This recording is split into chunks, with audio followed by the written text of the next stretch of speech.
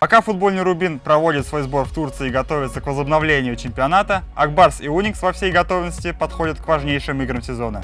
На прошедшей неделе барсы провели выездную серию, а баскетболисты Уникса сумели сыграть в Еврокубке и Единой лиге ВТБ. Обо всем по порядку первый день февраля Акбар скрестил клюшки с челябинским трактором на выезде. Очень быстро хозяева открыли счет. Лукаш Седлок оказался в нужном месте в нужное время и добил шайбу в ворота Адама Рейдеборна. 1-0. Трактор повел на второй минуте. Акбарс побежал отыгрываться, но получилось у них это сделать только в самой концовке первой 20 минутки. Найджел Доус отлично нашел на пятаке Стефана Дакосту и француз отправил шайбу в ворота челябинцев. 1-1. Равный счет держался до 18 минуты второго периода. Андрей Пидан бросил шайбу от синей линии, Александр Бурмистров скинул шайбу на Артема Лукаянова и последний добил шайбу в ворота. 2-1. Казанцы впервые в матче повели в счете. В третьем периоде Акбарсу не смог помочь канадец Патрис Камье. За опасный удар в голову судьи удалили его до конца матча. Но это не помешало казанцам в последнем отрезке. До конца матча команды отметились еще дважды. На восьмой минуте гости показали хорошую комбинацию в атаке. Дакоста на Фисенко, Фисенко на Петрова и 3-1 в пользу Казани. Челябинцы бились до конца и на 15 минуте вплотную приблизились к Акбарсу в счете. После броска Телегина от синей линии самым расторопным на пятаке казанцев оказался Ник Бейлин, который здорово сыграл на добивании 3-2. Акбарс доводит матч до победы и продолжает выездную серию. В среду, 3 февраля, Уникс начинал второй круг в групповом этапе Еврокубка.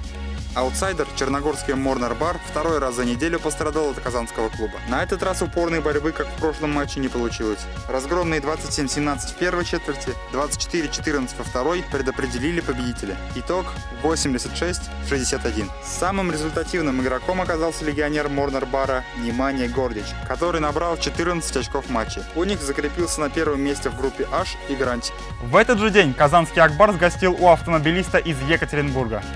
Очень резво начали матч команды. За 10 минут забили по разу. Сначала Кристиан Хенкель красиво подправил шайбу в ворота Якуба Коваржа. Ассистентами стали Андрей Педан и Стефан Дакоста. Уже минуту спустя шайба побывала в воротах Хакбарса. Хольцер нашел на пятачке свободного Брукса Мазика, и тот поразил пустой угол ворот Тимура Белялова. 1-1. Второй период оказался безголевым, а вот третий, наоборот, стал богатым на события. Было все. Драки, удаления и хорошие голы. На первой минуте Михаил Глухов бросил шайбу из-под защитника и застал врасплох Коваржа. 2-1. В середине периода уже Стефан Дакоста выбежал со скамейки штрафников, остался с вратарем 1 на 1 и мастерски разобрался с ним. 3-1. Михаил Фисенко вступил в кулачный бой с Никитой Трямкиным и получил 10 минут штрафа, как ее зачинщик. А сама драка закончилась победой защитника из Екатеринбурга. Хозяева не собирались сдаваться без боя. Гол за 5 минут до конца игры подарил болельщикам надежду на спасение. Автором стал нападающий Андрей Авидин с передачи Холланда и Масика. До конца матча ничего не смогли создать хозяева у ворот Барсов. 3-2. Казанцы одерживают одерживают четвертую победу подряд. После Екатеринбурга Акбарс отправился в Магнитогорск, где 5 февраля сыграл с местным Металлургом. Матч, как и ожидался, получился до первой заброшенной шайбы. Главными действующими лицами в тот день оказались вратари, которые действовали просто шикарно. 0-0 после двух периодов тому подтверждение. Игра получилась очень жесткой, если не совсем грубой. Целых 17 удалений суммарно получили команды. Но голов болельщики все-таки дождались. Правда, только в одни ворота. На шестой минуте третьего отрезка Михаил Пашнин бросил от синей линии и попал в девятку ворот Ада Адама Райдеборна 1-0. На 15-й минуте атака Металлурга опять закончилась голом. На этот раз Деннис Расмусон здорово сыграл на добивании, а Райдеборн сыграл немного неуверенно. Потерял ворота из виду 2-0. Хорошие атаки старался проводить Акбарс, но шайба словно заколдованная не шла в ворота Василия Кошечкина. Казанцы поменяли вратаря на шестого полевого, и Сергей Плотников поразил пустые ворота за полторы минуты до конца матча 3-0. Уверенная победа Магнитки и Акбарс прерывают свою четырехматчевую серию из побед. Впереди Евротур, и команды отправляются на 10-дневный перерыв. Ну и завершает наш обзор матч единой лиги ВТБ Уникс против Автодора.